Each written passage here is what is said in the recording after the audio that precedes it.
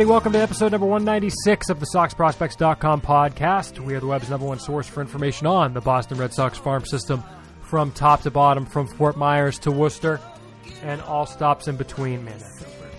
Thank you for listening. My name is Chris Hatfield, and I am the executive editor of SoxProspects.com, and I am joined, as always, by our director of scouting, Ian Cundall.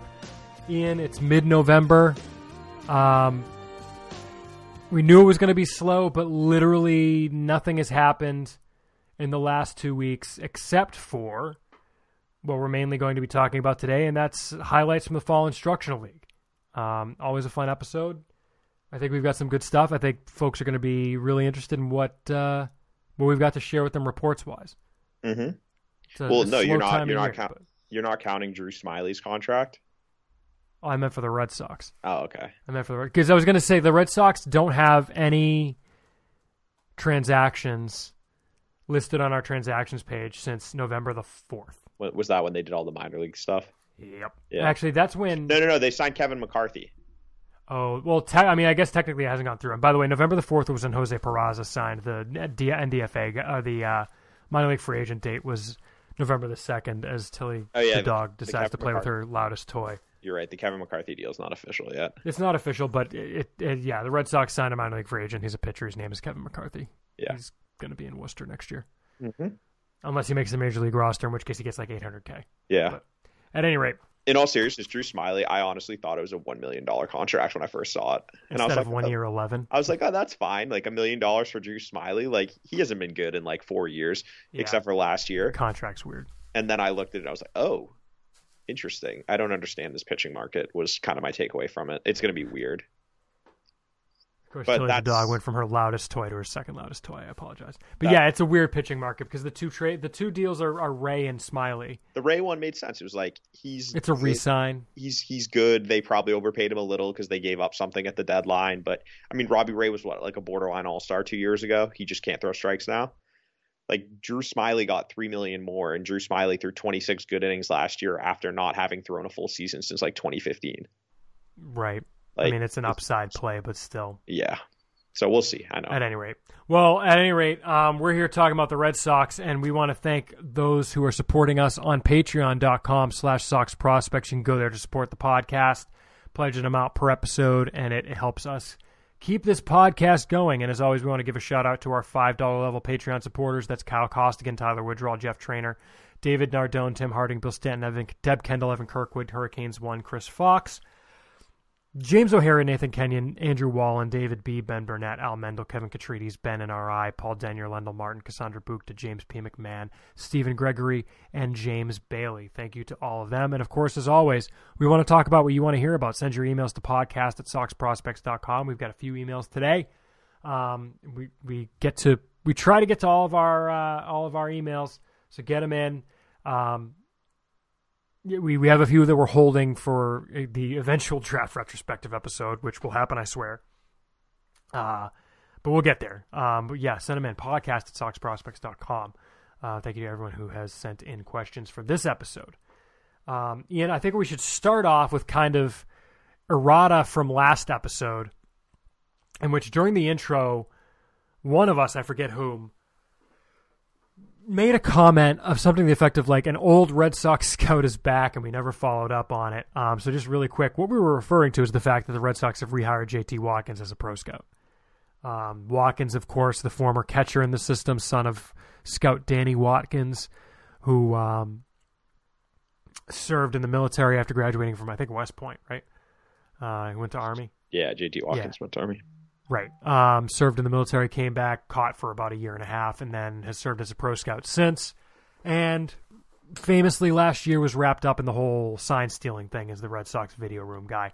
Um, Red Sox brought him back. Honestly, not surprising. The feeling that I've gotten is that the, the general consensus was that he got kind of scapegoated a little bit. Um, Well, I don't think by the team though. I think that not by the team. Just MLB the MLB did. felt like they needed to punish someone, so they punished him. Um, and they've got this thing where they don't punish players apparently. So they suspended him for a year. He was rehired. He's back in the fold. Can't work in the video room next year, but I mean, he's a pro scout. They'll have him doing pro scout stuff. Mhm. Um, so just wanted to check that off. Um, but yeah, some of the other stuff we'll be talking about. this episode. The Rule 5 deadline uh, to protect players on the 40 man roster from selection in the Rule 5 draft is coming up this Friday. We're recording this on Tuesday night, the 17th. The deadline is Friday the 20th, I believe at 5 p.m. Ian. It's usually 5. Um, I don't know that, though. If you I know, that know. would be great. I do not okay. know. Um, so we're going to talk about that. Brief mention of fall winter leagues. Who's playing where so far, as far as we know. And then we're going to get into the fall instruct stuff, guys. We've got a lot of reports. We've got a ton of intel from the nearly six week uh, fall instructional camp that the Red Sox held down in Fort Myers. Got uh, cut off a little early because of the tropical storm that was coming into Fort Myers. But um, we've got all kinds of intel from down there, so we're going to go through that. But Ian, let's maybe start with Rule 5 deadline. That's the next pending date coming up um, on the calendar. And we've talked about it a little bit, but I think in part because of the reports we've gotten from Instructs, and in part because we just want to kind of put a bow on it before um, Friday comes. We wanted to just go through, and I think well, what we did uh, for, for the listeners is Ian and I, without telling each other, came up with our rankings of who we thought the Red Sox would protect on Friday for, for on Friday, and how likely, from most to least likely, to be protected, um, those players were to be protected. Uh, I think Ian, we both came up with the same number of players, I presume. Mm-hmm. Um, so we have the same number of players, and we can mention guys who we don't think are going to make it that we, you know, are are kind of, you know, I get not potential, but just we we've mentioned guys who might.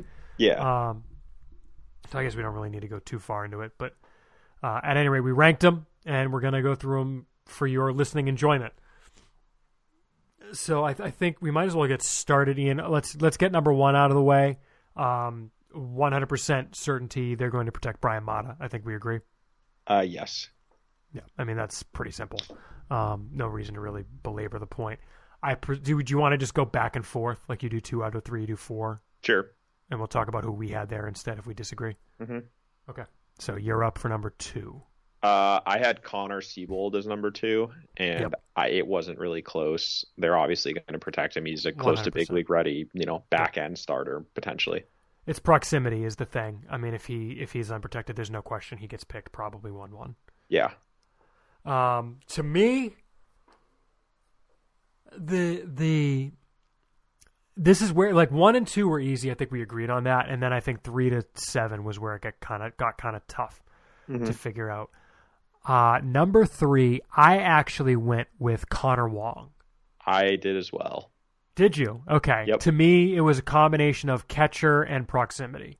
Yep. I actually that was not even a. I didn't consider anyone else for there.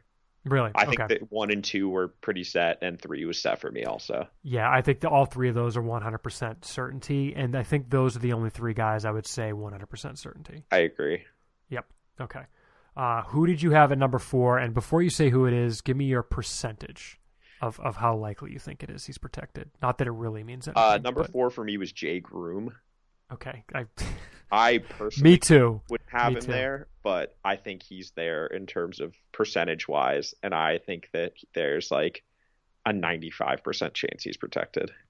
I don't Really, see. I would only put it about 75%. I I don't see it. Like he's gonna get picked. Someone's gonna take the chance if he doesn't. If if he, I think if he doesn't get protected, but maybe 95 is a little high. I was gonna maybe 80, but I think Yeah, I think 80, 75 to 80 feels right for me. Yeah. Because there's the, you know, the fact he hasn't pitched. Like, Mhm. is can you stash Jay Groome? Right, you know what I mean? Like, I guess think- you could pitch him out of the bullpen. Well, this is the thing. I think he could get lefties out. Like even we'll talk about With it in a little curve. bit, but Yeah, he wasn't right. very good at instructs. And even then, though, from the guys I was talking to, they all said he still can get lefties out, even though his curveball and fastball have regressed. Mhm. So because he's got Mhm. some deception, he's got that big over the top deliver or big frame. Like it's still tough on lefties, and I think you could probably hide him in a lefty specialist role, especially since it's not clear if MLB is going to keep the three batter minimum. Like that's Right. not a that's not a guarantee yet. right. So especially if they go back to like allowing you know loogies, then he I think a team could stash him in that role for a year.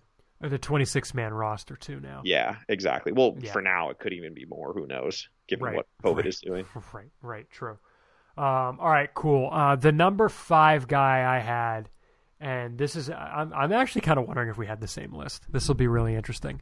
The number five guy I had. It's interesting to me that he's five because a month ago I didn't have him on the list, and that's Eduard Bazardo. And it looks looking at you, it looks like we differ, or do we not? No, I had him at five originally, and then I changed my mind. Interesting. Okay, I the reason have him at five. Five. I did it in terms of the way I think that the Red Sox will think about it. Well, and that's kind of what I did too. I just think, and we're going to talk more about this in a bit, and I mean, maybe we should just get into it. Um, the way Bazardo looked at the fall instructional league camp, whatever you want to call it, um, I don't think there's any chance he goes unpicked. Yeah, I think he's the prototypical Rule Five pick. yeah, he really is. Like every year, Uh, these guys go in the top like five to ten. And you know, I, I thought, I think I thought there was a chance that the Red Sox will go into the Rule Five draft with at least one roster spot open, so they can pick someone. And we talked about this in the last episode. It's going to be either it would be either a reliever or a bench bat, right? Why leave a spot open on your forty man and leave Bazardo unprotected to get picked? When you can have a player that you when you're going to select a player that you can't option who may or may not be much better than Bazardo. Yeah, that's that's the thing to me is like Bazardo, as I, I have I've tweeted about it, so it's not exactly breaking news, but he was the most impressive pitcher at camp in terms of just his stuff tick up Raw compared stuff. to what he was before. Mhm. Um, and yeah, I mean, you have a 25 year old who he's had success in Double A. Like he was very. I thought I thought he should have been protected last year, and I stand by that. And I was surprised when he went undrafted last year, but I guess you know. The, the thinking was there were probably pitchers with more upper level minors experience and who had better stuff because last year yeah his curveball was good but his fastball was just like fringy it was fine like it wasn't a standout fastball or anything and because of what it is now, it's obviously much better than that. I think he has to be protected, and I don't see why you wouldn't. Like the Red Sox, they showed this year that they churn and burn with relievers. They're looking for Right. guys, and his stuff right now is better than a lot of the guys they have on that in the who they pitched in the back of that bullpen this year. Like we're Yeah. talking about a guy who could have you know two plus to better pitches. Um, and his curveball's got that elite, yeah, elite spin rate. He's optionable. He's team controlled for what seven Six. years, six Well, years, yeah, whatever. six or seven, depending on how often, Like, how long you have them up. Yeah, I just don't. Yeah, I agree with you. Um, I did have a different person here though, just because the the the fact that they didn't protect him last year is still weird to me. And yeah, Yeah. Well, it, to me, it's because his stuff. To me, the the stuff was so much better based on the reports we got from the Fall Instructional League. It's almost like he's a different player. If it was the same stuff, I would not have him on the list. yeah. So I I had him five, and then at the last minute I did change him. Um, Okay, who do you have a five I, instead? I put Pot, Hudson Potts at five. okay, interesting. and th- I think these three guys at the bottom are Yeah. all pretty interchangeable. Um, and I did actually have Bazardo first, and then I changed it at the last minute. My thinking on Potts is that they clearly liked him. Um, he's got power. You know, he's he's young. He's still super young. Like he's you know four years, three years younger than Bazardo. He's played third base, maybe a little first base and second base. Um, he was obviously pushed aggressively by the Padres Yeah, but he's the type of guy that I think a team could hide in like a bench bat role, just a pinch hitter to face lefties, you know, just come in and hmm and I think that in terms of like upside, he has more upside than Bazardo because Mhm. Bazardo like best case is you know maybe an eighth inning reliever, whereas Potts, I mean, I I I don't know if this is. I wouldn't project him as this, but you know, you can dream maybe he develops into like a number six hitter, number seven hitter for a team, you know, like a fringy everyday guy right. and that's worth more to me than a reliever. So I had him ahead. What percentage would you put the them? Uh, would you put on them protecting Potts? I think like 75. That high? Okay. I would probably yeah. So I had Potts last, and I already hated it. I already Oh, want I to switch him with yeah. with Rosario. Um, for Potts, I would put it maybe it's what did you say? I think Bazardo and Potts are both like 75%. Okay, I would put Potts at like seventy, maybe a, a smidge below um, Bazardo. Bazardo, I would put it like seventy-five now, and Mm-hmm. Potts, I might put it like seventy. Yeah. and that's like splitting hairs at that point. But Yeah. yeah, I, I have Potts last, but I'm, I already want to change it to have him sixth. Yeah, my Um, last wasn't actually close. I was pretty Really. I felt pretty good about who I Yeah, and the reason the reason being is Jeisson Rosario. It's and Yeah. it's it's how far away he is. yeah, he's farther away, and he just doesn't have that profile of a guy you can stash really because he's not a burner. Like, eh, he's probably more of like an average runner than a plus runner. It's fine defense, you know, it's above average defense, but that's about it. You know, I don't think he can hit. He's got no power. Like, he couldn't hit major league pitching. What I mean right now, and he's got no Right. power. So he's just a tough guy to carry on your bench, and he's never played above high A. So Yeah, I just think his proximity is a case for him not getting added. But then you know you look at you can make the, you can also say the same thing about last year when they added Marcus Wilson. Like Wilson, what he was demoted from Double A to low, High A last year and still got added. yeah, but he So- but then he came up like because they, Right. they sent him to high A, he worked with um, Lance, uh, whose last name I need to learn to pronounce. It's like Um, it begins with a Z, it? Yeah. It's like Brodzinski. Um, Or it I really need to learn in it. pronounce that name. Yeah, but this this is a. Um, they sent him down. He fixed him, and he went back up to Double A and was a much better hitter. But yeah, but like Um, he only But like had, it's it's the the better comp is Yoan Aybar probably because he was a reliever. yeah, but I was trying to think the same position though. Right. But yeah, Right. Fair. I um I think he's the least likely. I still think he probably gets added, but I think it's like closer to like 55, 50. 45 or 64. Like it's closer to 50-50. yeah. I think yeah, fifty five or sixty percent that he gets added sounds right. Yeah. Um, and I think it's those seven. I don't really think there's anyone else they wind up considering. No, I mean like the only other person people like maybe is like someone like Pedro Castellanos or something, but, But I I can't see it. It's a bad I profile. don't I don't see it. Yeah. If Josh Ockimey didn't get picked either of the last two years, Pedro Castellanos. well, that's the thing is like power only cornerbacks just don't have as much value, and I think that is Well, I guess you could make the case for against Potts, but Potts at least plays third base, whereas Castellanos and Ockimey were first base only, which is a little Right. different. And I and I wouldn't even call Castellanos a power only guy. Yeah, so he's he's hit for power for exactly half a season of his career. that's fair, or less than that, but yeah, that's fair. Yeah, um, yeah, so we'll see. Uh, we've got seven now. Um, you know, the rise of Bazardo has been inter- interesting. Um, if they, le- I mean, let's put it this way, because the other piece of this, right, is the the forty man roster is at thirty six right now. Mhm. Um, so in order to add seven, the Red Sox would need to clear at least three spots. But when you look at the roster, I, I mean, I see names on there like Marcus Walden, um, Colten Brewer, Ryan Weber, Kyle Hart. Jeffrey Springs. Uh, yeah, I'm, I'm just going down the list, but yeah, Jeffrey Springs, Matt Hall, Austin Brice, Robert Stock. Uh, you know, there's there's there are plenty of guys that, and then you know, never never mind. I don't think it's going to happen yet, but at some point, Dustin Pedroia is going to be, you know, reach an agreement with the team. I'm sure uh, that would lead to his release, but. Um, you know, I, I think you just wait to do that later in the year because you're going to need roster spots later to sign major league free agents or to make trades or something. So I don't think you really need to do that yet. Well, and I, and I think another thing that for me is that if you look at the Red Sox current situation, they're not in the position to like leave good players unprotected. You know, they can't lose Sure. this farm system depth. And that's why like I just would be surprised if any of these seven guys got unprotected. They just they, they it's Yeah. not like they have a 40 man roster crunch or anything. They need these play like they need these prospects in the system. It would just be very strange to me and very unlike something I would expect the Rays or Chaim Bloom to do.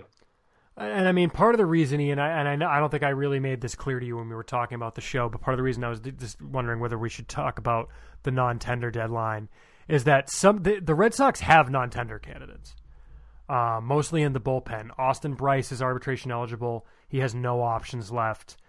He's a non-tender candidate. Um, you could look at a let's see who else is arb eligible.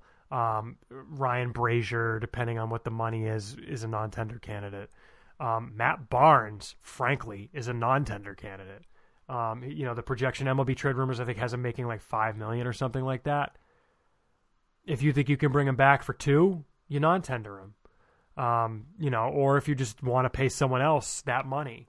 Uh, so there are a number of non-tender candidates who who could be there. You know, uh, it, it'll be, you know, do you just do, you know outright a guy now instead of waiting till the non-tender uh, deadline?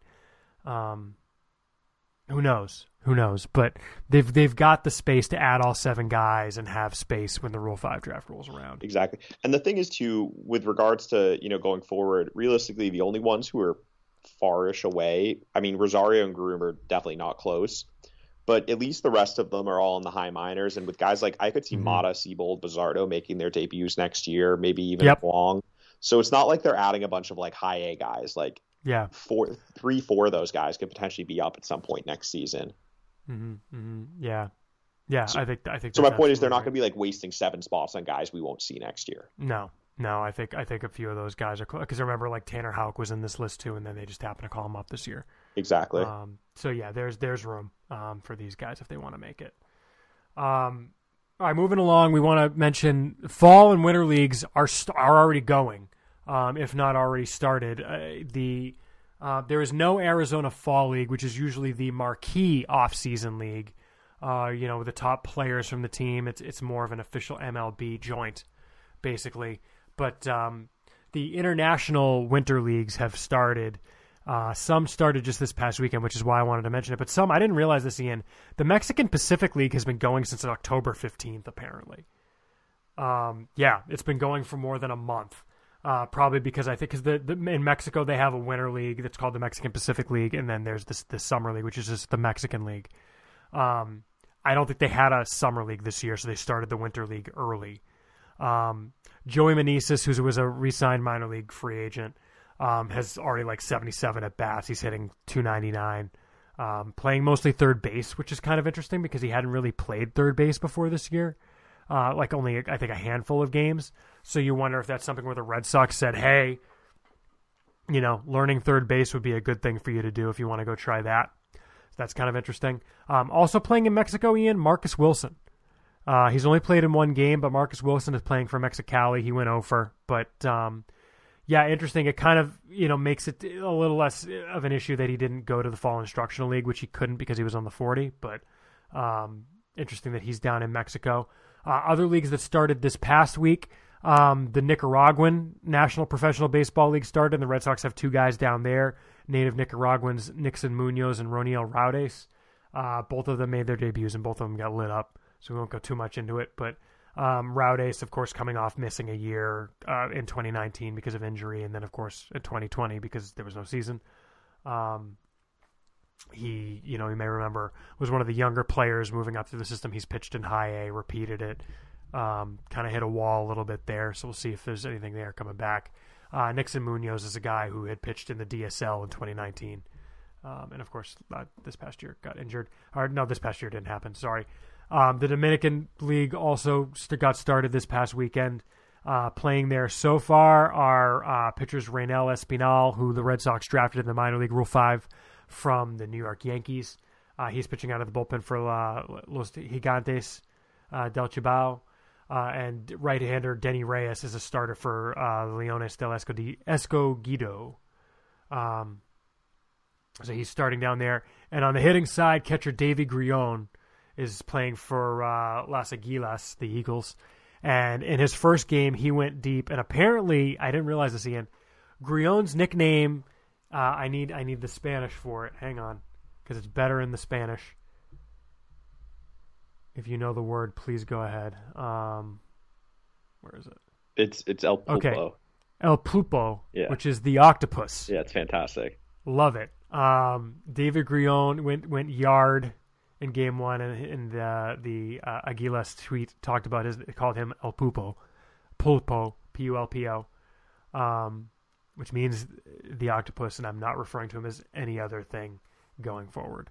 So, um, yeah, they're they're playing in the Dominican, uh, and some leagues they haven't gotten started yet. Uh, in Panama, Jonathan Arauz is going to be teaming uh, with uh, DSL outfielder Eduardo Eduardo Vaughan on um, Las Aguilas Metropolitanas.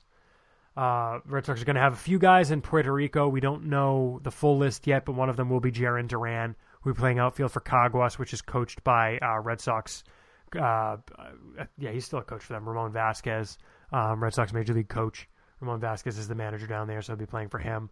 Um, should be a few other guys down there, and then um, outfielder Colin Willis, who has yet to play for the Red Sox yet because there was no season this past year, will return to Melbourne, where last year he was like one of the best hitters in the league.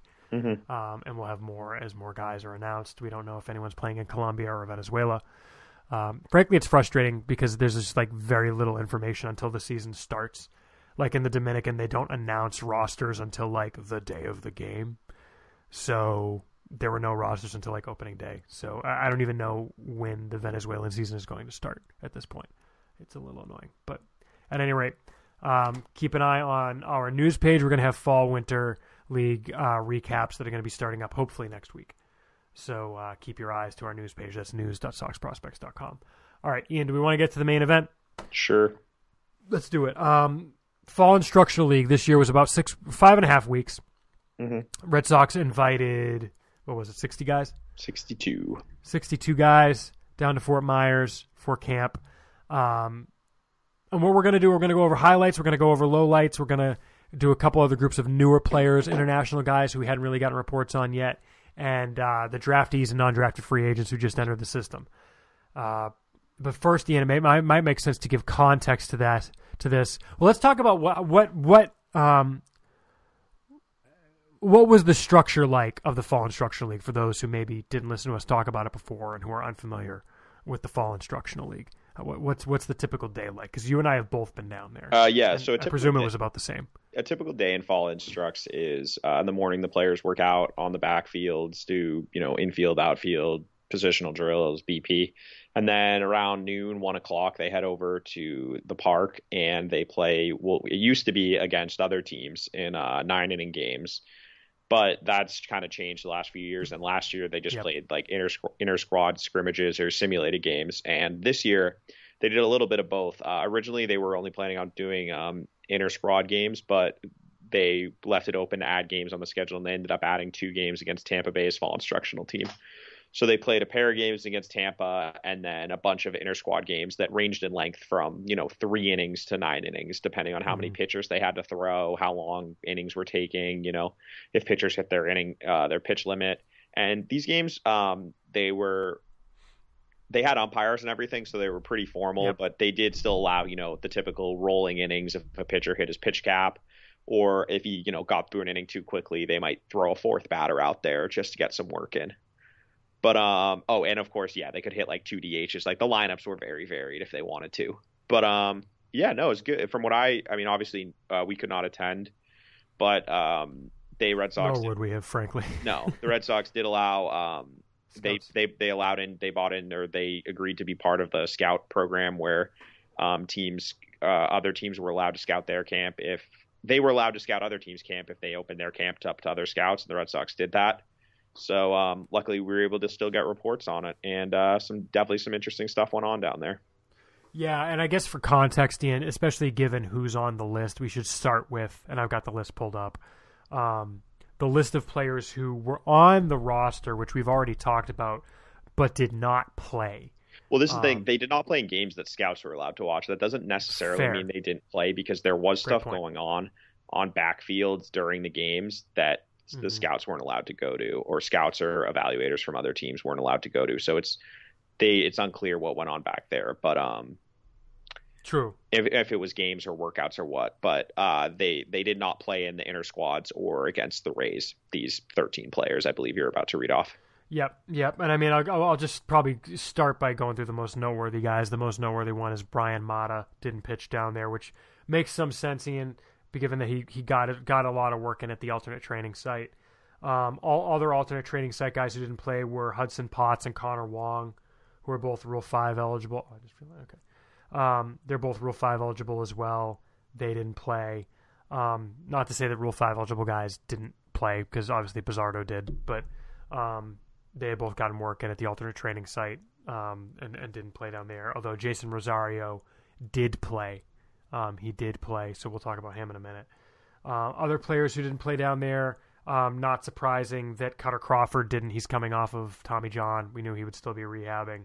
Um, Chase Shugart, who pitched for uh, Greenville last year, um, didn't play, didn't pitch down there. Uh, the newly acquired Jacob Wallace, the return from the Colorado Rockies in exchange for Kevin Pillar, um, didn't play um, or didn't pitch. Ryan Zeferjahn, the third round pick in 2019, um, didn't pitch at all in games.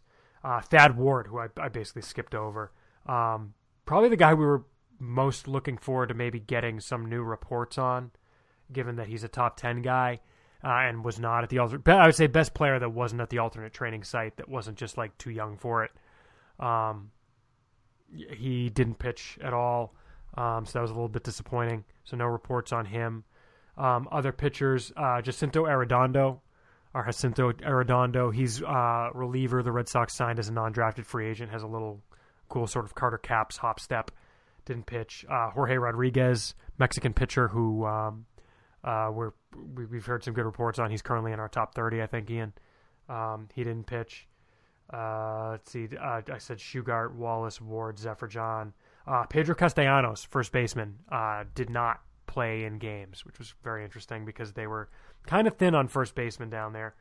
Um, and then a couple of catchers in Kole Cottam, who my guess would be that Cottam played in the uh, Battle of the Bourbon Trail put on by the Lexington, Lexington Legends, and uh, I forget the up the road team that they uh, organized that with, but um, yeah, he got plenty of catching in over the summer. I think was the thinking there, and then Alex Erro, uh, a 2019 draft pick, uh, who is learning catcher, did not play at all, which makes sense because he's learning a completely new position. So those, that was the list of guys who did not play. And let's get into the guys who did play. Um, and I guess we could start with some highlights. Who were the top couple of guys that you got reports on from Instructs? Some of them are pretty familiar, going to be pretty familiar names to folks. Uh, yeah. So actually, there was it was interesting because there was a consensus top three from everyone I talked to, and they all had mm-hmm. the same three guys, and yep. that was uh, the top overall player was uh, Gilberto Jimenez. Uh, the number second was Triston Casas, and third was Aldo Ramirez. So it's kind of interesting that everyone kind of came up with the same list. Um, yeah. But yeah, uh, I guess we'll start. We'll start, start with, with Jimenez, Jimenez, since he was uh, first. Um, obviously, you know we've been very bullish on Jimenez since we first saw him, and I think the most important thing is that he's finally like put weight on and is actually starting to drive the ball. You know, mm-hmm. we, we look if you look at his numbers last year, he has like a 70% ground ball rate, and he really was just trying to slap the ball and play and run. Mm-hmm. And that was all he was doing in Lowell. And obviously, he did it to great success. You know, I think he led the Penn League in hitting, hit what 370 or something along those yeah. lines. But the approach was really raw last year. Um, you know, he put the ball in play, but it was a lot of weak contact and kind of just beating it out because he was an 80 runner. And mm-hmm. things have definitely changed there. And, you know, now last year I looked back at Lowell and he was listed at 5'11, 160 pounds. Now on the Instructs roster, he's listed at 5'11, 212 pounds. Uh, and to be fair, that doesn't mean he was 160. No, he definitely wasn't 160. That's, that's what he was when he signed. But still, that's not too too far off. He definitely was not 160 pounds last year. I would guess he's probably 180. Sounds but, right. Yeah. But he's put on significant muscle, and it's really making a difference because you know he's someone who he did not have a lot of power last year. His home runs were more kind of like dinks over the wall, and I think he had an inside the park home run also um, and most of his doubles. It just he didn't hit the he didn't square the ball up a lot. And now, um, yeah, he's hitting home runs, especially right-handed. Um, he's just he's starting to actually swing the bat with a purpose. You know, he's not going up there looking to just slap the ball and put it in play.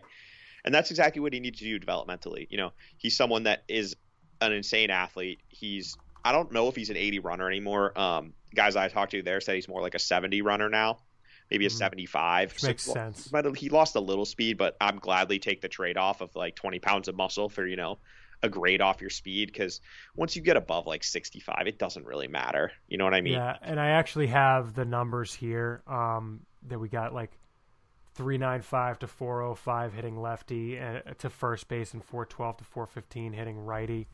Um, the right-handed numbers are more like a 70 the left-handed numbers are like a 75 70 yeah so he's like a They're 70 not 80 numbers anymore. no so he, he might have lost a little speed but he's still the same athlete he was and uh, you know i'm going to take that trade-off if right yeah. now he's showing like above average to plus raw power especially from the right side of the plate.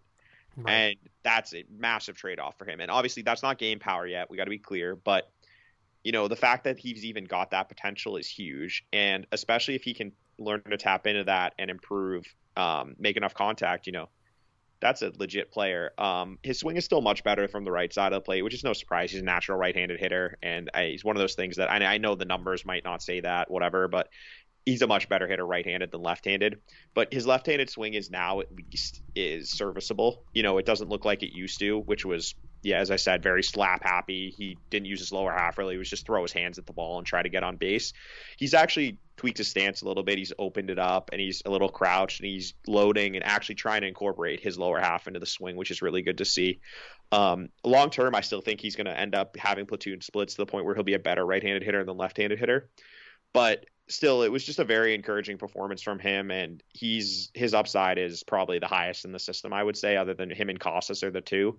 But yeah, he's he's someone who everyone who saw him was very came away very impressed.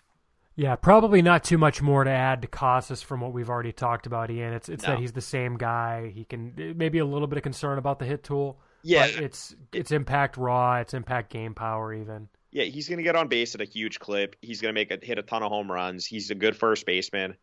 Um, he didn't play any third base at Instructs, which I think is still interesting considering he did moonlight a little bit there at the alt site, um, the alternate site. But um, yeah, I think the one question is just when it comes to hit tool, he can get a little passive, and the result, and we kind of saw it at the alternate site, is he takes a lot of pitches, and as a result, he's yeah. going to miss some swingable, he's going to miss some hittable pitches, and he still has, he's going to always have swing and miss in his game.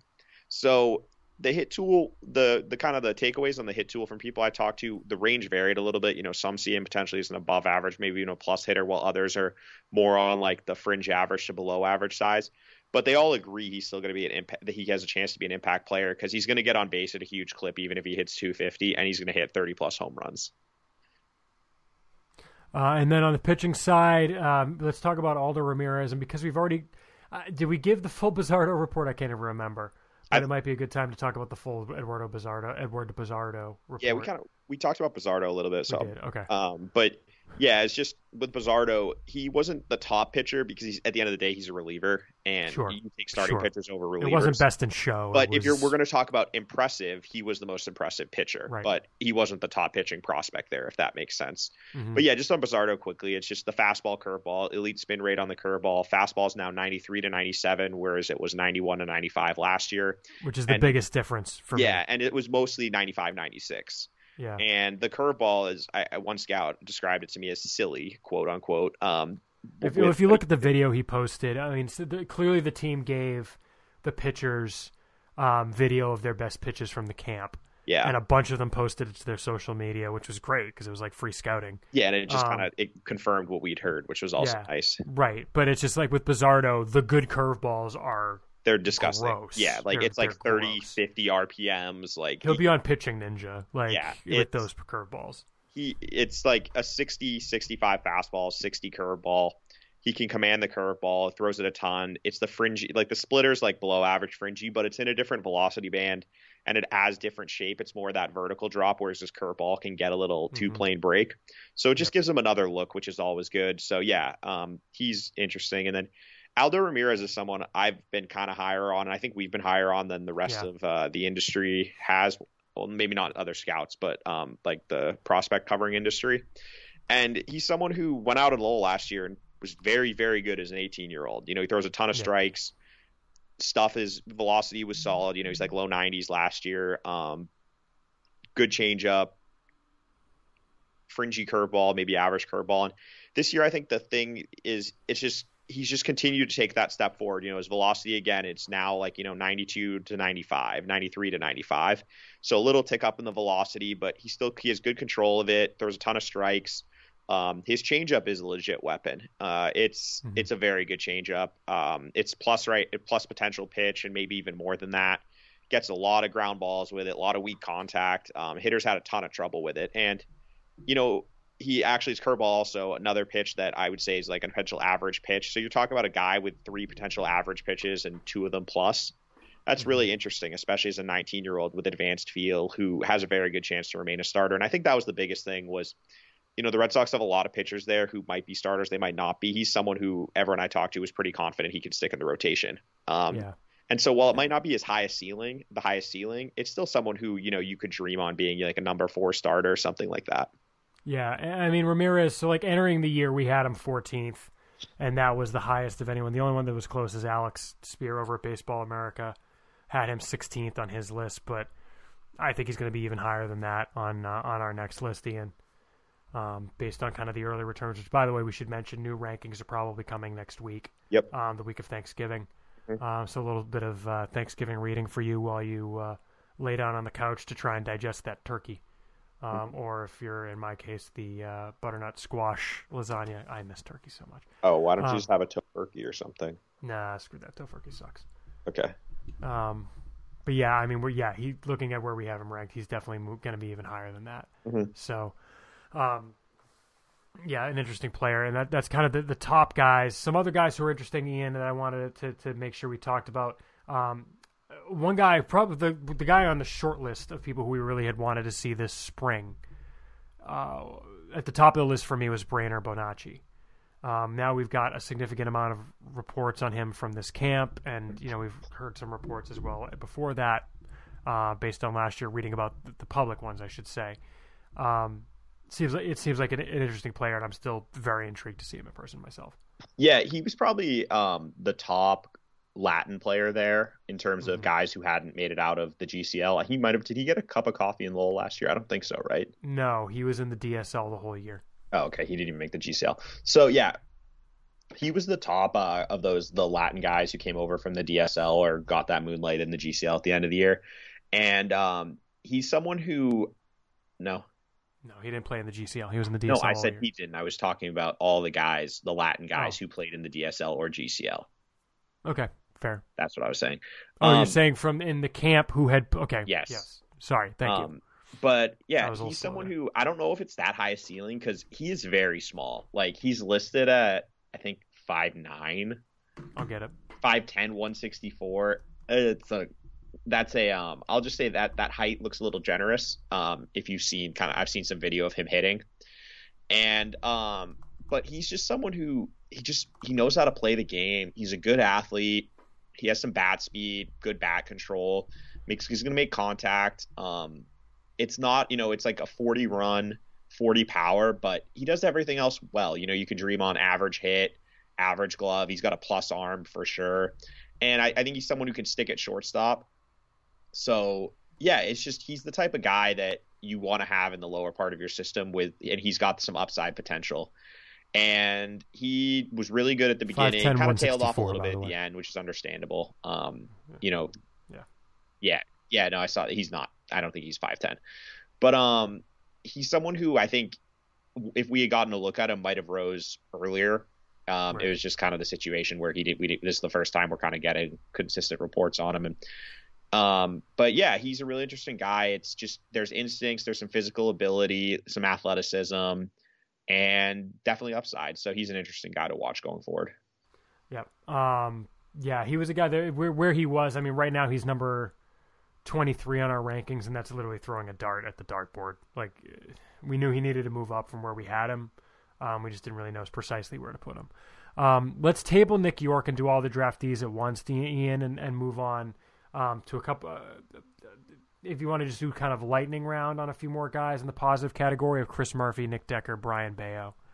Um, yeah. So Chris Murphy is someone we obviously really liked coming out of um, Well, Lowell Yeah. last year. He was excellent in Lowell. You know, they they made a few tweaks with his mechanics, and the end result was that he threw a ton of strikes, which he wasn't really doing in college. Still missed bats, and um, you know, he's not. I don't think there's a high ceiling or anything, but he just knows how to pitch. He's someone you know he'll pitch in the low 90s. He can run up to 96.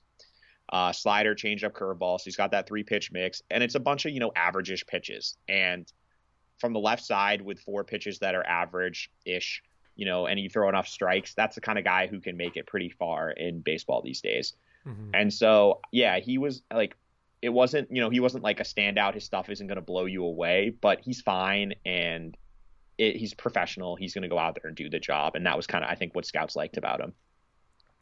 Yeah, I mean, and like on the fastball velocity, like this isn't Brian Johnson throwing, you know, 89 to 92 No. either. He's, like- I mean, from the video he posted, it was 92, 96. I'm sure it's at the lower end of that for the most part, but Yeah, he was, um, um, topping out at 96 is something that Johnson never did, right? he, he was like So, 90 to 93 mostly, but yeah, yeah, so like 90 to 96 in that range. But yeah, when when you have that kind of four pitch mix, some feel, you're throwing strikes. I think the one thing is that's going to determine his upside, obviously, is is the command and control gains that he showed last year in Lowell Real, Mhm. and he was pretty good with it in instructs. And if that continues, then that's going to go a long way to kind of like, um, fixing any concerns people have about that the command and control was just a small sample size. Right. Um, let's go with another pitcher in Brayan who spent last year in Greenville. Extreme. Well, he wasn't extremely young, but he made the jump straight from uh, from the. Was he in the GCL? I think he was in the GCL. Um, yeah, Bello is Bello is really interesting. He's got big raw stuff, like way more than Aldo, but he just doesn't have that feel that Aldo has, and I think Aldo has a much better chance to remain a starter. I'm not sure Baldo's or sorry, Bello is a uh, starting pitcher long term, but he right. could be a really good reliever.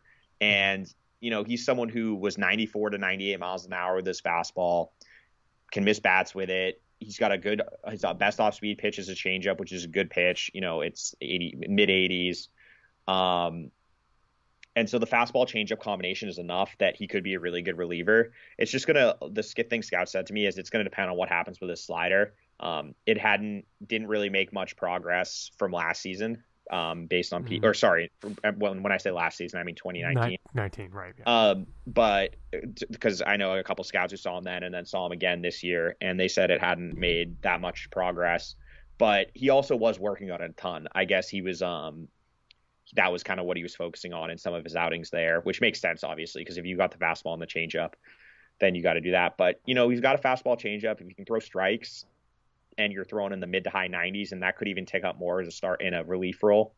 That's definitely a uh, reliever at worst. And but there's still a chance he can be a starter because he's so young. You know, I think he's only what 20 years old. No, he he's actually going to be 22 next year. Oh, he's, really? He's, actually pretty old. Yeah, because that's the thing. He oh, he jumped straight late. from the DSL to Greenville, but he was 19 in the DSL. That's what it was because he signed late, right? Because he signed late. Yeah, he didn't sign That's until 2017, and he yeah. was already 18. That's what throws me off. Right. But um, but anyway, he seems so like he should be younger. He should be not. younger. But yeah, okay. So, he, but he's still he's got that fastball and the changeup, and he's still inexperienced. So if he can improve that slider, which um, then you know you're looking at someone who potentially could be like a back end starter. But for now, it's mm-hmm. probably more of a relief mix. Right. Um, and the, the hitter, uh, going back to another Lowell guy for you, Nick Decker. Um, yeah, Decker was, I think, of the Lowell hitters from last year. Um, he was someone who impressed um, scouts there, and it was kind of more of what we saw from Lowell. He can really hit right-handed pitching. He's got big power. He can drive the ball with ton of backspin. You know, he's got a pretty good swing. Just the problem is there's a lot of swing and miss, and he's really, really bad against lefties. Yeah. and that's the thing is, you know, if he could only face righties, he's super interesting, but he can't. He's going to have to face lefties, and that's the thing he's really going to have to work on because I, I think it was last season he struck out like 2019 he struck out 45% of the time against lefties, and I guess um, kind of going uh, from instructs was the takeaway was he can't hit lefties at all, but he can rake against righties. So yeah, I mean it's kind of more the same with what we heard, but it's just encouraging that he's still handling right-handed pitching. Um, even after this layoff. Yeah, yeah. Um, so a set of players who who showed well. Let's maybe move on into, um, you know, players who showed they have a little bit more to work on or might have been a little bit disappointing. Uh, to me, based on the reports we got, I'd put Jay Groome at the top of that list. We already alluded to it. Uh-huh. After kind of an encouraging stint in the alternate training site, yeah, he was. He seemed like he was pretty good on video, but this is the thing: it's we don't have the actual velos. We're not seeing, yeah. you know, everything going on. Uh, I mean, well, and, and part of it, I mean, you know, listening to Paul Abbott talk about him, you know, mid-season, there's the he needs to learn how to throw a bullpen uh, mm-hmm. and give effort in the bullpen. Uh, and then at the end of the year, he was really talking very positively about him. And, and Paul Abbott and, and Billy McMillon were, you know, they weren't saying a guy stinks, but they weren't giving effusive praise if it wasn't earned. It seemed like they were being, you know, realistic. Um, and and Abbott had really good things to say about Groome, but man, the reports we got on Groome from Fall Instructs were very disappointing. Uh, I'm just to put that right out there. Yeah, I think the biggest concern to me is that his physical condition seems to have regressed. Um, you know, he showed up when he came back from Tommy John in excellent shape, and he so that was in the in the fall of 20 uh, not the fall but at the tail end like of late 2019 summer 2019 season. and then yeah. in instructs or sorry the alternate site this year you could tell it seemed like he put on a little weight yeah you, could tell think, he was back to not the poor so when groome first reported for his first full season we heard that the red sox were not thrilled with the shape he was in and that's no. the year that he had the lat injury yeah that cost him most of the beginning of the season. Was it 2017 um, in Greenville? I 17 think? in Greenville. Yeah. And that off season was the off season that he worked out during the off season with Chris Sale. Yeah, and then he got hurt 2018 came in in better shape. Still, you know, a little soft, but that's when he had Tommy John. Yeah. Missed all of 18 and most of 19, but when he came back in 19, I mean, I remember you sending me the photo and he looked yeah, like he, a different human being. Completely different human being. Yeah, yeah. he's and in, the spring and at the ATS, he looked like he was back to like 2018 shape. Yeah, and he he's so he's definitely he's little bigger than they I think they would even like him to be, I would assume. Um and the problem with that is that he, he loses athleticism and he kind of just loses his delivery gets really stiff. And that I think is the problem is it's when he's not in great condition, when you're six foot six, you know, 200, and I don't know what he was listed at. Maybe you can take a look what they have him listed on, on the roster. I think he's listed at like 250, 260 on the roster. Like he was listed at 220 two years ago or last year, I think in Lowell. Actually, I know he was listed at 220 in Lowell last year you know, and obviously we we know that the, the heights and weights aren't wrong, but that they have him at 262 right now is a little concerning. They have him, yeah, 266, 262, which is yeah, not small. That's that's not what you want to see. And um, yeah, the problem is when you know when he's that size, it just it's it just didn't didn't really work. And his velocity was down. You know, he was more like 88 to 94 at the top, but it was mostly like around 90, so 90, 91 um, with his fastball. And that was something when, when Groome's healthy, he's 92 to 94, up to 94 to 96. Yeah. So we're talking a full grade plus on the fastball velocity. The command is still not back. His curveball, which I mean, I've seen it at its best pre-injury. I saw his best outing, which was that spring training outing, the final yeah. one for his Tommy John. Yep. That was like a 70 curveball.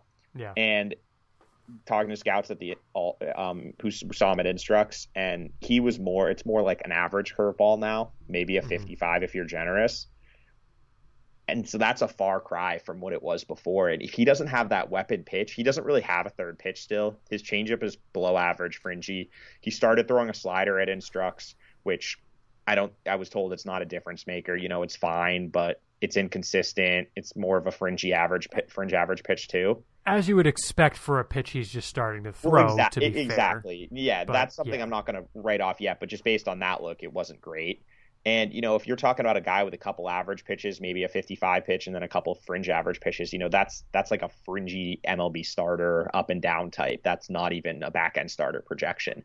Mm-hmm. You know, I mean, you compare with someone like Chris Murphy, we just described. That's more or less similar pitch mix to what Murphy's working with. But Murphy, I would say, has you know a better command profile. He's more athletic, so it's just what Groome now. It's just it's tough. I don't know what to do with him because yeah. pre-injury Groome is a top you know eight, top seven prospect in the system. Oh, higher, maybe higher top five prospects in the system, but he's just never been healthy, and the stuff is regressing. The body's regressing. The delivery's regressing. Like everything is trending the wrong way, which is just it's not what you want to see. Right. Yeah, it's like how much do you want to ding him for fall instructional league? And that's that's that's the hard part. Is you know I understand when the guys who go and have to file their reports based on instructs, that's all they have to go off of. And obviously, if they're going to have a negative report, it's understandable because that's all they're seeing. But it's hard, you know, when we've seen him good also. You know, yeah. how do we balance? Because yeah. it's just such a weird year this year. So he's someone who I think is probably close to the top of the list of guys we're going to ha- need to see next year to have a better idea of what to do with him because the clock's going to start as soon as he's added to the rule five or added to the 40 man roster. You know, they have three years to kind of figure him out. And he's still not pitched above Greenville. And he's pitched what? He last time he pitched in Greenville was 2017 and he threw 40 innings. Right. He is so far behind the developmental curve that right. it, it's just unclear what I don't know what how they're going to uh, make up for this and what. I mean, pitching at the alternate training site this year probably counts for pitching in like Salem. I agree, but like, but it's still, also like he also might like, go back to Salem next. But year. he also threw like or what, should say high A, thirty innings there, forty innings there. Yeah, you know, we needed to see him go out there and throw 100, 120 innings in a season, right. and he still has not shown he can do that. And with the with the high risk body that he has, you know, that's the kind of frame that injuries are going to happen, muscle injuries are going to happen. So, yeah, it's going to be he's someone I'm interested to see next year, and he will probably going to get pushed down a little bit in the rankings, but it's just it's so much unknown with him. How about one of the new guys, Jeisson Rosario? Maybe not quite along those lines, but um, certainly a guy who you know we were intrigued and intrigued about getting new reports on, and not really awe inspiring. Yeah, uh, Rosario was fine. He got off to a good start, but kind of as camp went on, he struggled.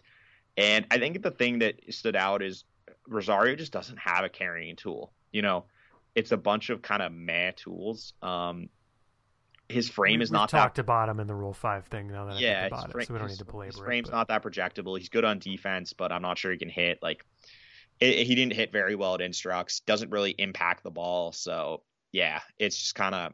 I mean, he was fine, but it wasn't. You'd expect someone who's played in high A and had a full season's worth of at bats there to do better against a lot of pitching he was facing, which is never even a lot of it had frankly never pitched above like the complex leagues.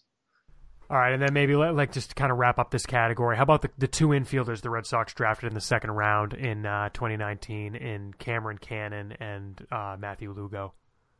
Um, yeah, both of them uh, were a little disappointing. Um, Lugo, I think the thing that's a little was not ideal to hear is that it seems like he's regressed a little bit athletically.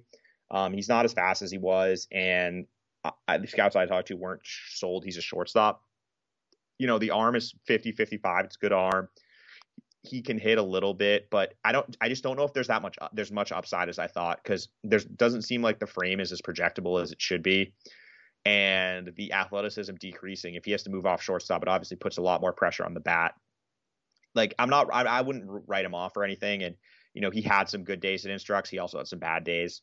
But I think it's more that there are other guys in the infield like Nick Yorke, Brainer Bonaci, who have passed him um, in terms of their upside. And then I'm um, sorry, the other one um, is Cameron Cannon, and Cannon Cannon struggled again. Um, he obviously was he really struggled with Lowell last year.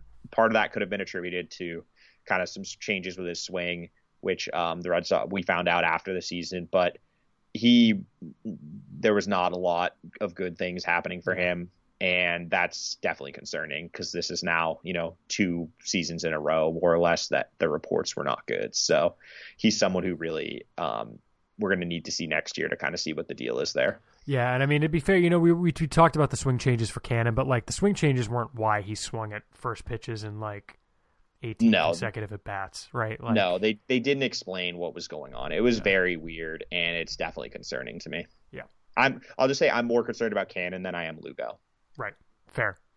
Fair. All right. Um, and then maybe a couple couple of final groupings. Let's talk about some international guys that we hadn't really seen stateside yet. Um, one that was kind of interesting with the reports compared to what we heard about coming into camp was uh, Chih-Jung Liu. Uh, definitely was seemed like a different pitcher based on what we were reading.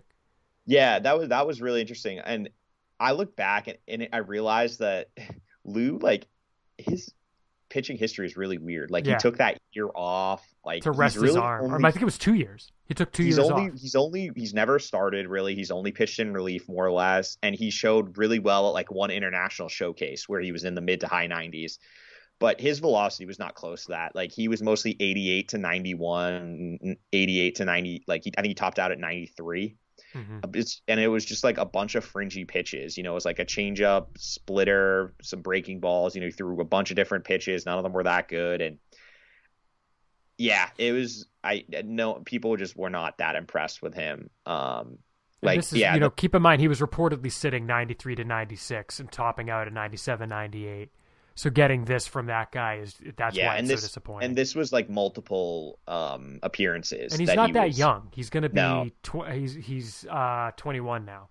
Yeah, so he yeah it was 89 to 92, top 93, 88 to 91. Like it was all in that range. Slider, changeup, maybe a splitter also. Command if he has some feel, but there's a lot of development needed, and um, that's it was just a far cry kind of from what we heard he was coming out of Taiwan. Um, and then how about some of the, the Dominican Summer League guys, Ian? There was that grouping of outfielders that we've talked about, um, you know, in our positional reviews. Uh, just Yeah. of, of guys that had come over, you know, maybe a couple of the highlights there in kind of a lightning round fashion. hmm Yeah, so um, there's a there's a bunch of they had they had a bunch of those outfield types, and the one I got that stood out the most from the guy um, from the people I'm talking to was Eduardo Lopez. He's got a really good approach, which we understood. You know, he, he had a 15% walk rate in the DSL last year, and it wasn't a fake 15% walk rate. He really showed that he knows what he's doing at the plate. Other than that, it's a bunch of average-ish tools, but you really like that walk rate. You like the contact ability and the polish, and he's someone who I think that he got stronger as the camp went on, which I like to see, facing against more advanced pitching, frankly, than he is for the most part. So um, definitely someone I'm interested to see next year. Uh, another one who was really um, was impressive was Darel Belen. Uh, he was actually playing first base um, which I think is partially because they just didn't have many first basemen. Yeah, I mean, it basically they had two in camp, and one of them was Castellanos, who wasn't playing over there. Yeah, so like they had Belen and Roldani Baldayo also was playing some first base. Uh, Belen is huge. He's like six four. I I don't know what he's listed at weight wise, but he's a very very big human, and um, he's got big raw power. The contact is a question mark, but and he's not very fast, but he's six got four, some feel. Six four two oh four on the Yeah. on the on the roster. He's got some feel at the plate and the power is legit. Like he hit an absolute tank one time, one of the days off of uh, Jay Groome. And um, his nickname, which I enjoyed, is El Animal, which I just for some reason made me laugh that he is his nickname is the animal. But um, yeah, he was he was good. Scouts scouts liked him. Um, the other guys, Eduardo Vaughan, Juan Chacon, Brian Gonzalez, all of them had some ups and downs. You know, they had some areas where they were pretty good, other areas where they struggled and all these guys kind of, they were kind of grouped together. Um, it was really Bonaci was the clear top of those that group, and Right. then Lopez was the top of the outfielders, followed by Belen, and then Vaughan, Chacon, Gonzalez, kind of in that same boat together. Um, Gonzalez is big raw power, but question marks about the his ability to make contact. Vaughan is projectable, but is really raw, and Chacon is does some things well, but there might not. It's not a standout tool yet, and he's super young. Um, and maybe let's talk about the the draftees and, and non-drafted free agents from this year. Uh, kind of skipped Nick Yorke and, Blaze Jordan, who we'd thrown into those previous categories. Where would you put them, and, and what the reports on them were? Yeah, so of the draftees, um, Nick Yorke was the most impressive, and it wasn't really close. Um, Yorke can hit. I that's the thing. I he's from what I was told, he is not good at defense. Like Mhm. he's a second baseman for sure, and that might even be pushing it, which is a little concerning because it puts a ton of pressure on the bat. Sure.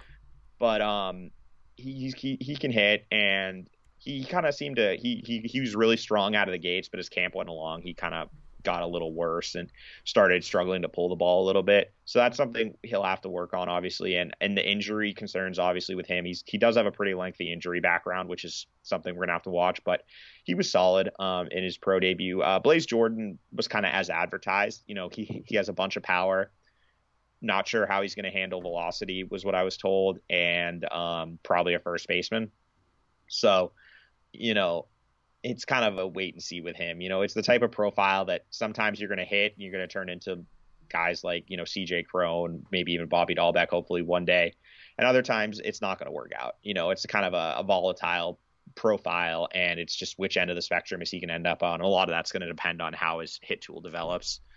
Um, Jeremy Wu-Yelland, and then sorry, Blaze Jordan was probably the second most impressive, and then right after him, or probably might have been a little more impressive than him, was Shane Drohan, the lefty who was their fifth round pick out of Florida State. Uh, Drohan's just projectable, athletic guy. You know, right now his raw stuff's not there yet. He's you know 89 to 92 with some average to maybe a tick above secondaries, but he just has some feel. The delivery works. He's a good athlete. He's the kind of guy you like to see because there might be more there as they get him into the the, the development system. Um, Jeremy Wu Yell, and he has a chance to be a starter, which is good to hear. Uh, Jeremy Wu-Yelland, on the other hand, is a, straight reliever, 93 to 97 from the left side. Command's going to be an issue. He walked a ton of guys there. Um, and yeah, it's kind of just like arm strength and maybe a little breaking ball, but there's a long way to go developmentally with him. Um, and then kind of to wrap it up, uh, the two undrafted free agents who were there and pitched were Brian Van Belle and Jordan DiValerio. And Van Belle is uh, someone who I think is might get consideration in the back end of the top 60 just because his changeup is really good. Um, you can see it. He posted video, I Yeah, believe, on his nasty. it's a very good changeup. It's a plus changeup, 55, 60 changeup. And um, velocity, you know, it's like 89, 93. But if he's commanding the fastball and with that kind of changeup, he's someone who can stick around for a while and probably get to the high minors pretty quickly. So he's pretty interesting. And then DiValerio is just like a solid or guy, four, three, four pitch mix, um, throw strikes. But he was facing really young hitters, and he kind of took advantage of that because he knows how to pitch. But I, not not a lot of upside there. Yeah, I mean the thing with Van Belle that's so hard with him is he's already 24. Yeah, he'll be what 25 by the time next season starts too. no, I no, think. no, he'll be 24 next season. Oh, okay, like he, that's he- his it is, birthday's yeah. a he's a September birthday. yeah, Um, so, so he'll be he's 24 all of next very season. Very old. Yeah, uh, for for a guy who hasn't pitched yet. Like you, you know, we, we, when we talk about our 2021 projections page, like he's in Salem and I'm, or I should say high A. Um, not that we know anything. I'm just saying who knows. Um, Yeah. he's in high A, and I'm always and I, my inclination is like, oh, maybe they start him in Greenville, and it's like you realize he's got like four years on Yeah, guys he that we're putting in that rotation. I forgot that he was a redshirt senior in uh in college. So he did five years at Miami. So no, yeah. Well, no, he he was a JUCO guy. Oh, was he? Okay, that makes He sense. was a he was a three year JUCO guy, and then went to Miami for two years. For two years, that makes sense. Yeah. But um, anyway, yeah, he was interesting, and scouts did like him. Yep. Yep. Um, all right. Well, I think that's that's going to wrap up uh, the Fall Instructional League, guys. If you, if you guys have any questions, again, it's podcast at soxprospects.com. Uh, and that's probably a good transition into this week's round of emails, Ian. We We've only got a few. Quickly, quickly mention though that like we Oh, we have reports on everyone else that played that we didn't mention, and those will just probably end up on the news page Yep. or Twitter. So just make sure to follow the news page, follow me on Twitter and the website on Twitter. Mhm. Um, and that's where the info on the rest of the guys and Yep. more tidbits will be put up over the next couple of weeks. Great, great point, Ian. Thank you for pointing that out. Yeah, again, it's news.soxprospects.com. Make sure you're checking that out. Um, and again, emails podcast at soxprospects.com if you've got questions, comments, concerns, thoughts, anything that you think would add to the show, anything that you want to know about, anything you want us to discuss, hit us up. Um, and our first email, uh, I'm not going to say the name yet, Ian, because it's part of the email, but it's uh, actually, let me get to the, to the PS. Um, he says, It's Mad Dog, not my dog. LOL, I got tired of the name being constantly butchered. Sorry. So it's Mad Dog 561 who only used 1D. Um, I know that's probably extremely disappointing to you, Ian. But uh, he asks, Hey guys, is there any chance that the Red Sox sign someone like a Kevin Pillar on a one year type deal if they miss out on one of the big free agents so that they can have them split time with Jarren Duran so that he doesn't get all the pressure put on him all at once? Um, thanks for the email, Mad Dog. And uh, I, I think some of the underlying premise there I don't agree with. They're going to sign a center fielder who will be the, or I should say an outfielder, because I guess in theory you could put Verdugo in center, Ian, but Mhm. they're going to sign a starting outfielder. I think it's most likely going to be Jackie Bradley coming back on a one or a two year deal, but I, I, there's no chance they go into next year with Jarren Duran unless there's an injury as a starting outfielder in, in Boston. Yeah, I don't see any way Jarren Duran breaks camp with the big league club Yeah. So if I they signed a Pillar, would be to start. or Which- to be a platoon partner with Bradley or something like they did this year. Oh, Like, sure, see- sure. Yeah, yeah, yeah. I they- could see Pillar coming back, but it wouldn't be to platoon with Duran. no, yeah, that's fair. I could see Pillar coming back too, because they do need a, ben, a left-handed hitting um, bench. Although Pillar is a righty, um, but they, they need a, the thing is they need a left-hander on the bench, which is the, why the Pillar fit isn't great for me.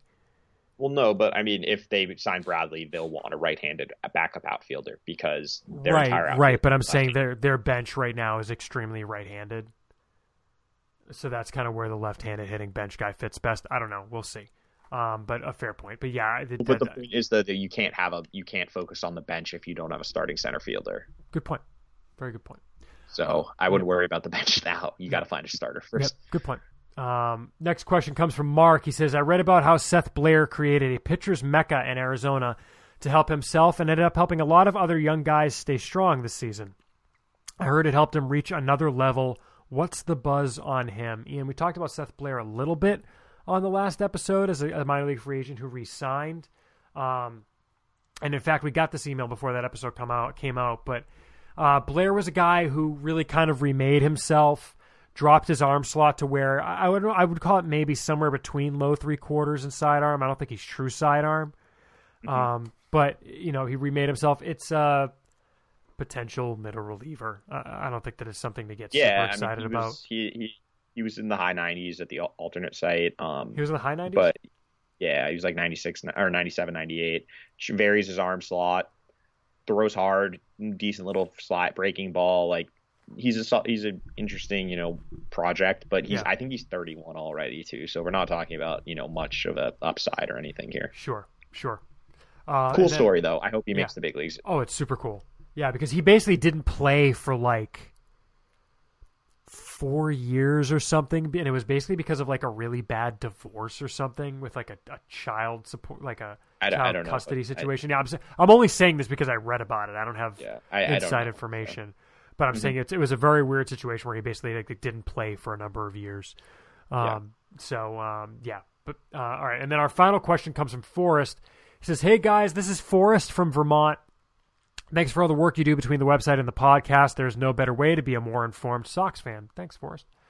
He says, My question comes after the hiring of Kim Ng to be the GM of the Marlins, which, by the way, quick break from um, the email. Pretty awesome uh, uh, news bit, Ian, that we haven't talked about yet. Kim Ng becoming the first female uh, to hold a general manager role with a major league team. She's she's been talked about for I mean, breaking she's interviewed that. a ton. She's She's been talked about as the person who would break over. that barrier for like Yeah. 15 years. she's way overqualified. So yeah, it's about time. Um it was great hire by Miami. Yep. Um, he says, Big congratulations to her. I was curious about her background, and while reading her Wikipedia page, I saw that she was one of four women to hold the title of assistant GM. And of those other, other three women, a name jumped out Raquel Ferreira of the Boston Red Sox. How did I not know about her? Turns out she's been with the team for 22 years and in the front office for much of that. Apparently, a lot of her focus has been on player development. Is she someone you have been able to interview? I'd love to know more about her impact on the team. If you're ever traveling through Vermont in the summer, make sure to stop in Montpelier for a Mountaineers game. It's a college summer league.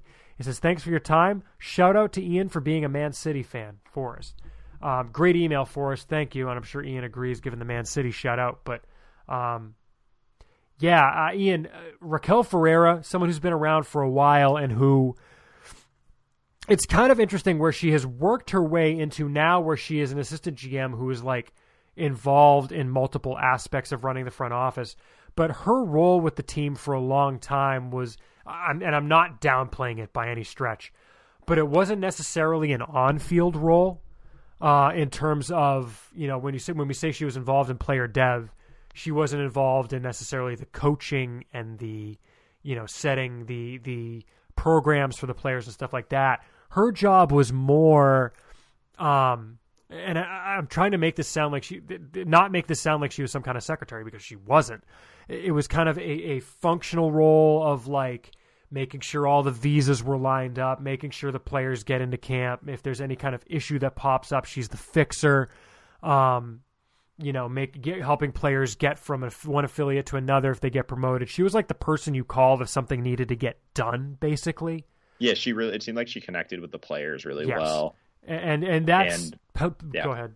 I think No, you're probably ahead. about to go where I'm going, but that's no, you, you can go. that's kind of turned itself into now where she has ingratiated herself so much with the players as they came up. Apparently, she was instrumental in helping to negotiate the Xander Bogaerts extension because she had that line to him and his trust, um, such that you know she was able to talk to him, find out what he wanted, what was important, and help him, you know, help get him, you know, willing to sign that, con- not get him willing to sign that contract, but you know, help with the negotiations um, and those discussions.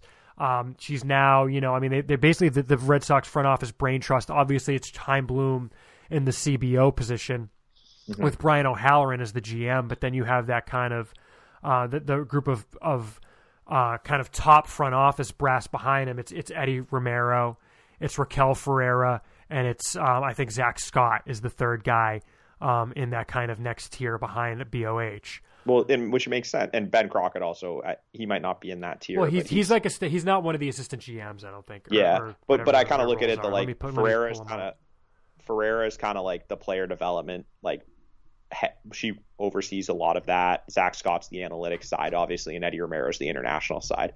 So they have a really good like mix of. um They all complement each other really well, I would say. Yeah, so it's it's if you're looking, um, Raquel Ferreira is an EVP, assistant general manager, as is Eddie Eddie Romero and Zach Scott. The three of them hold that executive vice president Yeah. slash assistant general manager position. Yeah. Um, whereas then if you take the next step down, that's when you get to um, guys who like uh, uh, let's see here, um, vice president of player development Ben Crockett. Uh, Right. Vice So I- president of professional scouting is Gus Quattlebaum. Vice president of scouting is Mike Rickard. Yeah. Um, and that's kind of that next sort of tier of vice presidents. That makes um, sense. that you have. Yeah, so I, I kind of think that I think one day she definitely will get consideration for a GM job, and she should because Mhm. you know the things she does or has been credited with do, doing and still continues to do for the organization are invaluable. Every organization has people who do that, Mhm. and Yep. Yeah, I mean she definitely I think someday will get consideration for it. Yep, for sure, for sure. Yeah, um, but she's definitely a name to watch, and I think you know with Kim Ng, um, kind of breaking that barrier, it, it kind of paves the way. and just the Hopefully, reaction. she's the first of many. Yeah, and the reaction on Twitter, you know, let's face it, Twitter kind of sucks sometimes, slash a lot, um, and that's before um, you know we get to Fleets, which debuted today. But um, you know, the the response to Kim Ng getting the the Marlins job was universally great, and just some of the stories you saw of like I think it was uh, Marc Carig. Um, who was like my I have I have I'm the father of a a you know Asian female you know an Asian daughter who looked up this who when she saw that Kim Ng got that job said wait so I can get that job and that's cool Yeah, that's, That's the thing cool. is you want to. Baseball is in a position where they need to be opening as many doors as Yep. possible and expanding the fan base and you know people who want to work in the game as much as possible to increase diversity of hirings. You know, for too long it was a gentleman's sport made up of let's be honest, a lot males. of white guys, a lot of white guys. hmm and there's still a long way to go, but this is a really good step. And it's obviously, as you said, I think it's the it's the first female general manager in any major professional sport in the Yep. U.S. And I believe it's it's, believed the to first Asian, be yeah I believe to be the first Asian American general manager of Really? any. I believe so. interesting Um, it at least in baseball at least for in sure. baseball for sure Yeah. yeah, So it's just I don't know what yeah, sport there would two be- things that is she. I mean, she's been around the Yeah. game forever. She's won a bunch of World Series. She's been with the Dodgers, the Yankees. she's been with MLB for a while yeah that's where She's she been came MLB from for a while. Like she's done everything. She's worn a ton of hats. Started with the White Sox, obviously, and yeah, it's it's just cool to see someone like that rewarded because, you know, she's been her name has been floated out there for so many jobs over the years. I remember kind of as like it was never clear if it was people were serious or it was more just you know throwing a name out there. But it's good to see that finally someone is recognizing her. well, people have recognized for a long time, but you know Yeah. what I mean. She's getting that chance to run a team her way. For sure, for sure. Um, so that's great, and thanks for the email, Forrest. I'm glad you mentioned it because if if Forrest don't know if we would have gotten to it. and I'm glad we did. Yeah, that's a good point. Yep. Um, by the way, just as, as a quick wrap up, Ian, maybe something to, to close on. Um, Theo Epstein left the Cubs today. Yeah, that was wild. Um, not entirely unsurprising though. No, From No. yeah, Go- this I mean, seems like his, yeah, his I- ten year rule. Is yeah, it, is, it yeah. it also seemed like this was coming for a little bit. It's a Um, good time. It's good timing because they're they're stepping back, they're retooling, and he he kind of, you know, someone made the point. I forget who. It might have been Alec. I think it was Alex Speier. Um, but if it wasn't, I apologize. But it's you know when he left the Red Sox, it was after nine years, and it was they're about to hire a new manager. It should be Ben Cherington's hire, which is kind of funny in hindsight because I think that was the uh, Bobby Valentine hire, which is most definitely not Ben Cherington's hire. Yeah, Um, but he said it was a good time for him to move on because the you know the, the, they had an internal transition plan in place, and it was a good time to kind of make a switch. And that's Right. kind of the, the where, where the Cubs are at, where Jed Hoyer is obviously stepping up to take over um, as president. yeah, I'm excited to see what Jed ops can do because Yeah. obviously another guy who came from the Red Sox who there. Mhm. well respected around the game, has interviewed for a ton of jobs, so it'll be cool to see him running his own team. And I don't think this is the last we've seen of Theo uh, running a team. I I don't know if he's gonna. I mean, he said he's not gonna man. It'd be he doesn't want to run a team this year. But Well, he um, said he's interested in a t- in like maybe more of a like you know a not politics but maybe like uh, what did he say instead of politics it was not politics but maybe policy yeah, so maybe a non-baseball type thing or it sounds like given the way he was talking about the game of baseball like i want mlb to hire him I would love for him to become the commissioner. yeah oh my god yeah he, he had some ideas about how to improve the game and is like going get him away. in that office like Yeah. oh, Um, but I, I think another thing that I wonder if played into it was kind of coming off the pandemic. The Cubs have obviously already laid off a ton of their front office personnel. sure If Theo knew he wasn't fully committed, he has by far the biggest salary. hmm oh that's what he He- said He's saving ten million dollars that can be redistributed to his, you know, his guys and um, gals in the front office. So Although that's I, I did see a tweet from a uh, a Cubs guy I follow on Twitter that was like, you know, okay, good. The Ricketts can that's ten million dollars the Ricketts can put into the Cubs instead of lining their own pockets or donating to political campaigns. that's a fair point. But So- um, let's yeah, we're not we don't talk politics on here. Well, But, we don't, um, but I'm just saying it. The point is, you know, yeah, okay, teams are losing money, but it's not like you know owners or, or mom and they're- pop they're not- here. The, uh, the owners are not the ones who are struggling right now. Let's just say that. Right, right. But um, yeah, it'll be interesting. I mean, I would assume that Steve Cohen is going to make a, and the Mets will make a play for him. I don't know if he'll. If I he'll don't though. I think they will. I don't Like, because if you're Theo wants- Epstein, why would you go to the Mets to work underneath Sandy Alderson when you were running the show in Chicago? I just don't see the fit. Well, but is it Sandy Alderson for sure there, or is he Yeah. more of just like a figurehead to transition until they until they get someone permanent? I mean, but they're not going to bring him in to, for a month. I mean, maybe that he was just. I mean, I don't know. Huh. So I, I it'll be interesting to see where he ends up next, though. Yeah. Um. Anyway, yeah. So the, And I, I, honestly thought you were going to mention Will Venable. By the way, I thought. Oh gosh, Will Venable. Yes, the Red Sox. that's the big thing you were. No, no, no, no, no. Another thing to close on. We, we as we were recording, or as we were about to record this, uh, it got reported. Uh, I think Jared Carrabis and, and Rob Bradford had it first, but um, Will Venable is going to be the new bench coach for Alex Cora. I love the hire. Uh, really weird for me because he was playing at Princeton while I was at college, and Oh, I definitely smart. wrote article. I covered the baseball team while I was at Brown, and they played he's- Princeton, and I wrote about him. He's probably really smart. So yeah, I mean that's a little weird. He- he- better than Brown, right? Academically. yes, Oh, I was I was they're both better. They're both better than Michigan. I mean, that's just patently false, but you can continue Yeah, okay. believing what you want to believe. Um, cool. Yeah, I, I think it's interesting though because he's interviewed for a ton of GM jobs recently, or not GM, sorry, manager jobs over the last two off seasons, I believe, and wasn't didn't he interview for the Red Sox manager job? Yeah, and he wasn't a finalist, which was weird.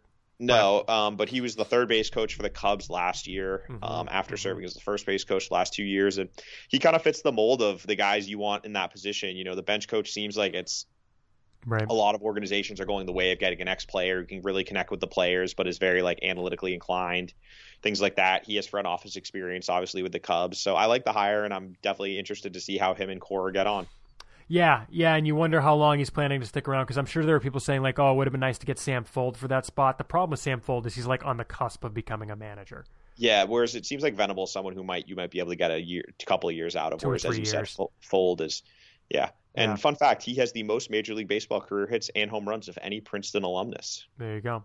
He's probably also the best Princeton. Well, I shouldn't say the, one of the best Princeton basketball players to play baseball, but um, he He- also played basketball at Princeton. Yeah, he's the second athlete ever to earn all Ivy League in both basketball and baseball. There you go. Baseball and basketball. I think I just said, yeah, whatever. Basketball. Anyway, yeah, basketball. Exactly. I think it's time to wrap up. It is. All right. Well, I want to thank you all for listening. I want to thank Podcast Joe 2.0 for producing our show. And I want to thank the Ludlow Thieves for our intro and outro music, All the Money. You can catch that on Spotify, Tidal, Amazon Music, whatever it is you listen to music these days. Um, thank you to our patrons again, patreon.com slash Sox Prospects if you want to support the show. And if, send us your emails. We want to talk about what you want to hear about. It's podcast at soxprospects.com. The Twitter handles, make sure you're following the site at Sox Prospects. Follow us. Ian is at Ian Cundall. That's I A N C U N D A L L. Follow me at SP Chris Hatfield on the Twitter machine. Um, I'm not doing any fleets. Ian, you doing any fleets? No, I don't understand it. I still haven't even. I, It's like I, like Instagram stories, basically. I know. I don't like that. There's. It's taking up way too much room on my timeline Yes, at the top. agreed. I really don't like it. Agreed. Agreed. Um, if I want to go on Instagram, I'll go on Instagram. Exactly. Oh, well, I yeah. Um, I don't really like Instagram either, but um, I think that this will probably be the last. This will obviously be the last show before the 40 man. So probably the next time we talk will be right around what just before the non-tender deadline. I would assume. Probably, yeah, because next week's Thanksgiving. I'm sure we're taking that one off. I don't know if we're going to be able to cut an episode the week after. It'll be tough. Um, I may or may not have in-laws in town, Yeah. So we'll figure it out. so we'll figure it But, out. uh, Keep we'll, your ear on we'll Twitter. be in your ears soon enough. Sounds good. He signed us off. Take care, everybody.